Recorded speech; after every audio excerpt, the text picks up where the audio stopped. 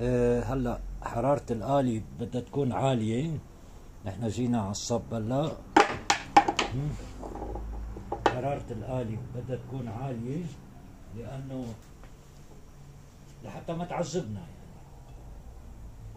فنحن عم نسخن بنحط هيدا حد النار والقالب بنحطه بطريقة إنه تجي الحماوة ليحمى حطينا حد النار كمان. رح فرجيكم من الميلة.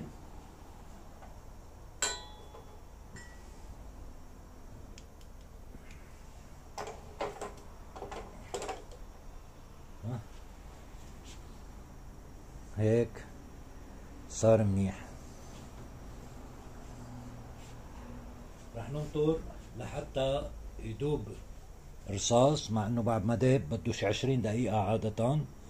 بناخد له حرارته بهيدا بنحطها نار الحرارة هو بدوب أحسن حرارة على الفايرنهايت يعني على الأمريكاني آه، 400 470 فايرنهايت أو 370 سنتيغراد تقريبا تقريبا على 370 هو على 300 بدوب بس الحرارة تكون مؤاتية لحتى نصب هو على 370 درجة أو 470 فahrenheit أوكي أهم ثلاث أشياء هي نظافة الرصاص الشبابيك مفتحة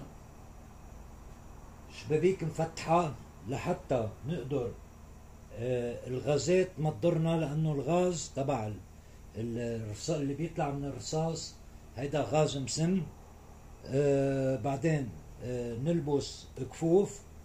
هلا لنحرق الغازات أول مرة. راح فرجيكم كيف. أول شيء بدنا ننظف. كل شيء بيطلع على وش الرصاص مثل هالجيه هاي. بلاستيك وتراب ورمل ومدري شو. بنحطهم بهيدي الحديد.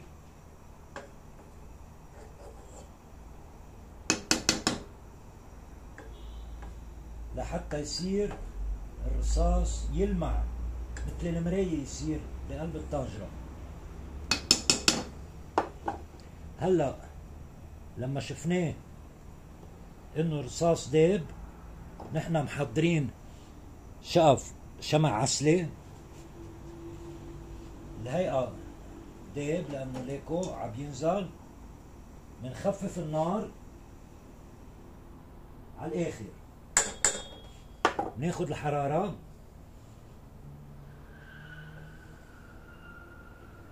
الحرارة عم تطلع؟ عم تطلع؟ عم تطلع. هيدا بالفايرنهايت سنتيغراد هيدا. صارت 300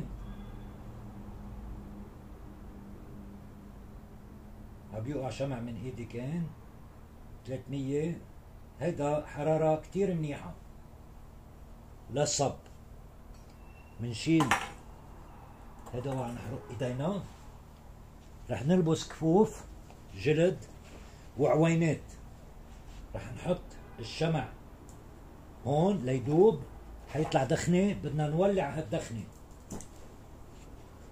هيدا بيحرق الغازات السامة من الرصاص. القالب بلش يحمى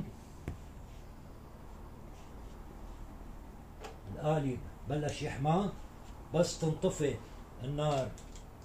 بيكون بنحط الكعب من فوقه بنسكر هاي. رح نصب أول حبة.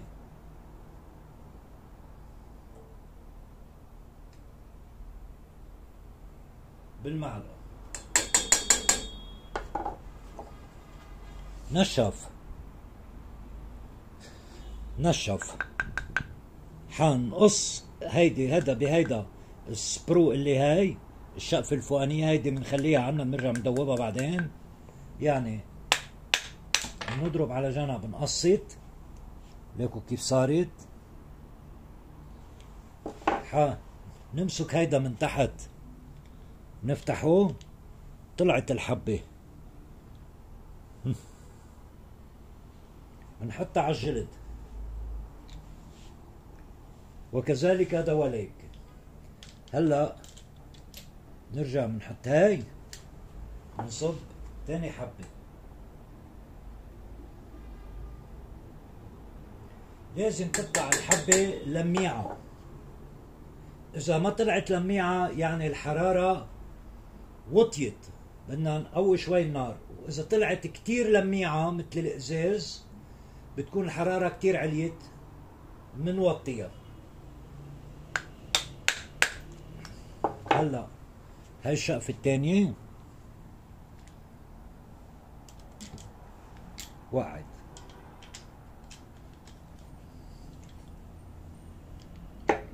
رح فرجيكم كيف اني حاميين كتير ما بيسوا واحد يمسكهم بإيده. حية لميعة. بس مش كتير لميعة. كعبة فارغ. ال ال البلون عم بلمع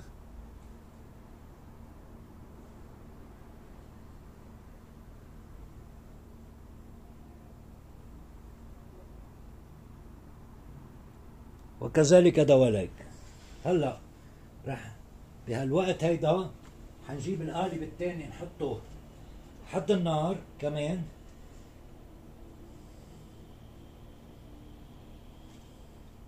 ليسخن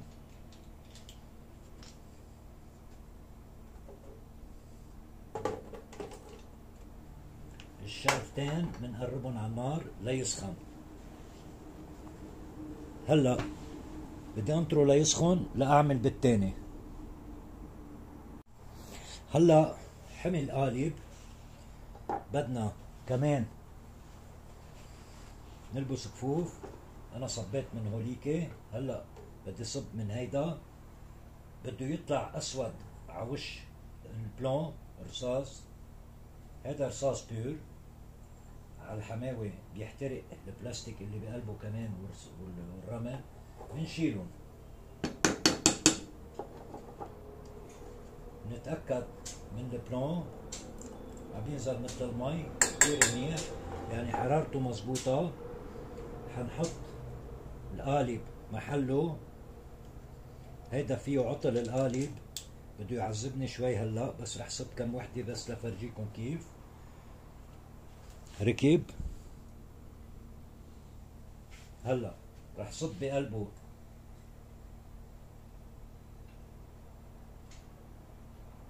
بعده بارد. شايفين؟ بعده بارد. يعني هلا. ليك كيف طلع؟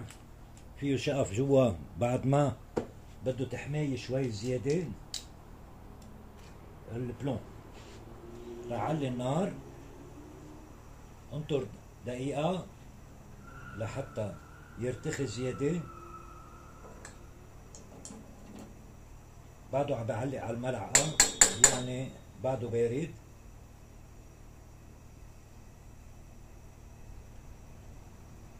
في عندي هذا البرغي ملص بده غيار. بدنا نحط له نعم نفتح له سن ونحط له برغي أكبر. بشوي أو سنة اوسع بشوي بعده عم بعلق على الملعقه خلي القالب حامي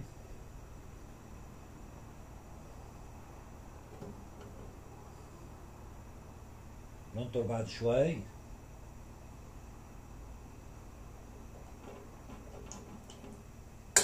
صار أحسن. لنجرب. صار منيح. جمد. راح نقطش الحبة من فوق. بعده بارد شوي القالب بعده بارد أول وحدة بتعذب. هلأ منشيلها ليكو كيفية. منحطها بالكعب هون هلا لأنه بارد بده يعذب شوي منحلحلها تطلع. هلا أول وحدة بس يا تاني وحدة. بعدين بنفتح ما بندق على القالب مندق على المسكة. وقعت حيين.